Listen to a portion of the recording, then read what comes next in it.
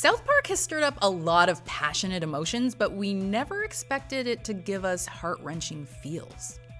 Hey everyone, I'm Rebecca and welcome to Watch Mojo. Today we're counting down our picks for the top 10 surprisingly touching South Park moments. Mom, Dad, I made a friend today! Kip, really? You did? Yeah! That means we're taking a look at moments from the South Park franchise that took a break from fart jokes and celebrity parodies to touch our hearts. And to be clear, these don't have to be straight up sad moments. You may shed a happy tear or two. All right, let's get to the list. Come on. Or maybe I'll have three beers. That's probably okay if you spread it out. Number 10, Kyle saves Ike. From the pilot episode, Kyle and his adopted brother Ike have shared one of the show's most heartfelt dynamics. Ready, Ike? Kick the baby! Don't kick the baby. In season 7, Kyle risks losing Ike forever when his birth parents take him back to Canada. By Canadian law, I must award custody of the child to his birth parents. Yes! Yes! In one of his most personal speeches to date, Kyle tries appealing to the Canadian Prime Minister with a meaningful expression about what it truly means to be a family. Family isn't about whose blood you have in you. Family is about the people who cared about you and took care of you. We're not the same blood, but I love my little brother. As moved as we are, the Prime Minister doesn't feel the same way, and promptly blows Kenny up in a show of rage. But why are you making such strange laws? I said go! Fortunately, the Prime Minister behind the curtain is revealed to be Saddam Hussein, and he's arrested on the spot. Kyle's words get through to Ike's birth parents, who realize there's more to family than just blood. He doesn't belong here. He belongs with his family. Peter, would you like to go back to your home in Colorado? Number 9. The Calves. Matt Stone and Trey Parker aren't exactly what you'd call vegetarians, but they do have a thing about eating baby cows. Wait a minute. Veal is little baby cows? Yepper! Then why the hell do they call it veal? While this episode isn't anti meat, it does stand up for the poor calves, suggesting that nobody would eat veal if the product were called Little Tortured Baby Cow. I did manage to get the FDA to officially change the word veal to tortured baby cow. The creators further get their point across by making the calves as adorable as possible, giving them sad faces and puppy dog eyes. The boys decide to lock all the animals and themselves in their bedroom and go on a hunger strike. Though eventually thwarted by the FBI, their rescue effort is ultimately successful, as the new brand name drives down national demand for veal. In the 24 hours since the word veal was officially changed to little tortured baby cow, the market has gone dry. Seems when people see little tortured baby cow on their menus, they don't feel like ordering. Number 8. Cartman gives Kyle CPR. Following a hazardous encounter with Man Bear Pig, Kyle is left pale faced and lifeless on the ground. When everyone else in the room is ready to declare him dead, Cartman, of all people, refuses to give up on him. The situation moves from emotional to surprisingly intense as Cartman tearfully tries resuscitating Kyle. God damn it, Carl! You never walked away from anything in your life. Now fight! Honestly, a scene like this feels more like something you'd see on Lost or ER than South Park. Come on! As Kyle sputters and coughs back to life, Cartman is seen cradling his head as he provides him with an oxygen mask. Granted, Cartman is mainly concerned about his bet with Kyle, but nevertheless, we like to think that a part of Cartman can't handle the idea of life without Kyle. Well, at least now he doesn't have to suck anyone's balls. No! No, he has a strong heart. He wants to live. Number 7. Chef's Funeral. When South Park made fun of Scientology in season 9, Chef's voice actor, Isaac Hayes, felt that he could no longer contribute to a show that mocked his religion. Hayes' sudden exit left Stone and Parker feeling sad but slightly resentful, and they certainly show it in season 10's opening episode. I'm gonna miss him. I'm gonna miss Chef, and I. And I don't know how to tell him. Chef is offed in the most gruesome, mean spirited way imaginable. However, the episode doesn't disregard all the good work Hayes did over the years. We're all here today because Chef has been such an important part of our lives. Chef's funeral is a genuine tearjerker, reuniting many of the people he touched, from Mrs. Garrison to Elton John. And Kyle even delivers a bittersweet eulogy about all the laughs, songs, and wisdom Chef gave us, adding that we shouldn't blame him, but rather a certain, quote, fruity little club. So you see, we shouldn't be mad at Chef for leaving us. We should be mad at that fruity little club for scrambling his brains. Number 6. Kenny gives his sister a toy. When Kenny's little sister Karen popped up as a background character in season 9, we didn't expect much to come from her. In more recent years, however, Karen has played a role in some of the show's most tender moments, adding new layers to Kenny's character in the process. You are going to be okay, Karen. You have to keep believing that. Why did my mommy and daddy go to jail? Sometimes people do stupid things. Sometimes they don't realize what should have come first until it's too late. In season 19, Kenny has to work his fingertips to the bone merely to receive a child labor wage. But he uses his measly paycheck to purchase the lonely Karen a doll. wow. Karen lights up at the sight of her new plaything. And although Kenny isn't the easiest character to read, we can tell that his sister's happiness is all the reward he needed. It's a simple moment that speaks volumes about who Kenny truly is underneath the hood. Hi.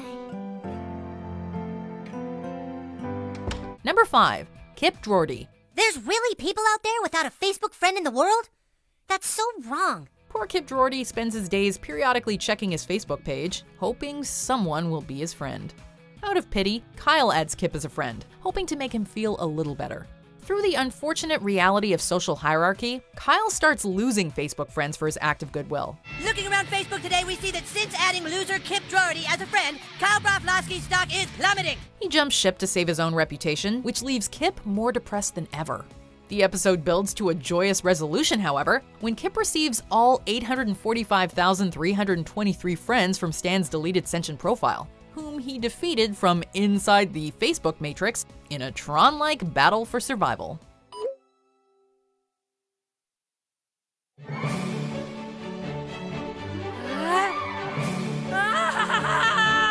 Number 4. Blanket. At first, Stone and Parker were against doing a Michael Jackson episode, seeing as how the controversial pop star is an overused target for satire. The creators came around to the idea, however, when they decided to make Jackson's youngest son Blanket the focus. My name's Blanket.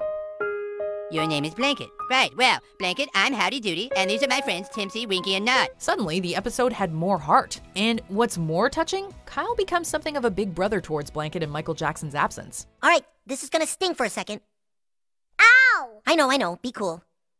Thank you, that already feels better. Kyle realizes just how neglected and alone Blanket is, telling Mr. Jefferson that he needs to stop acting like a child and take care of his own children. Let's say it's all made up, and Mr. Jefferson is just a nice guy who's trying to be a child because he never got to have a childhood. Well, that's fine, except for that he has children now.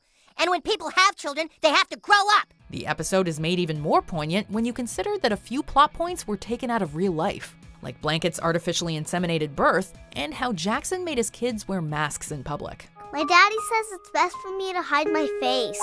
Number 3. Mysterion, the Guardian Angel.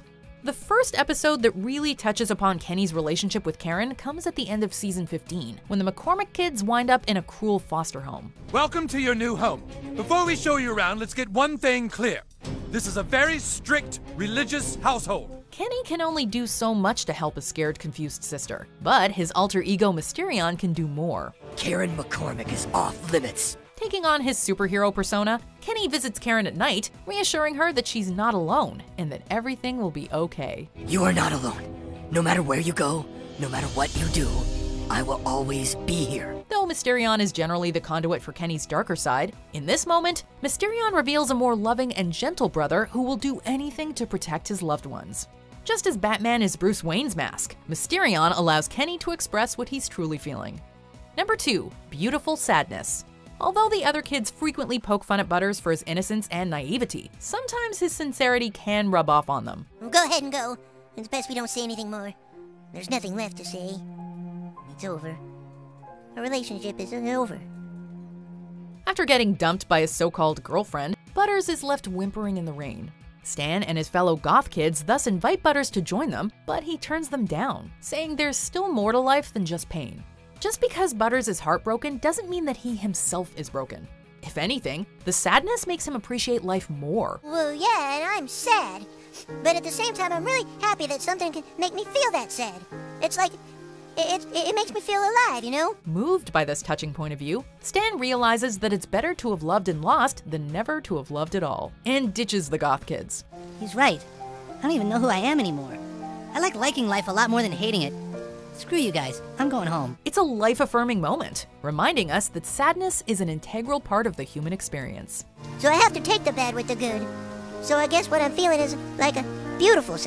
Before we continue, be sure to subscribe to our channel and ring the bell to get notified about our latest videos. You have the option to be notified for occasional videos or all of them. If you're on your phone, make sure you go into your settings and switch on notifications. Number 1. Kenny's Sacrifice. Though we can never quite understand what he's saying, Kenny is often the voice of reason and virtue in South Park, and this is best exemplified in their feature film. After helping a heartbroken Satan see the light, Kenny is granted one wish. You showed me that I had to get away from him. Just make any wish you want, and I shall grant it. Rather than asking to be resurrected, Kenny wishes for everything on Earth to go back to the way it was. He said that his wish is for everything to go back the way it was before this horrible war. Kenny, you realize that means you'd go back too. Before returning to hell, however, he reveals his face and speaks clearly for the first time, bidding his friends farewell. Goodbye, you guys. He then disappears, and we next see him flying up to heaven, his sacrifice rewarded, leaving everyone in the theater choked up. This ending elevated South Park into new territory, proving it's much more than a foul mouthed cartoon. Hey, they're capable of other emotions. Who knew? I'm kidding, of course. Uh, so, what do you think has been the most touching moment in South Park's history? Let us know in the comments or come tell me on Twitter or Instagram at Rebecca Brayton. Also, be sure to like and subscribe, and please watch this other video.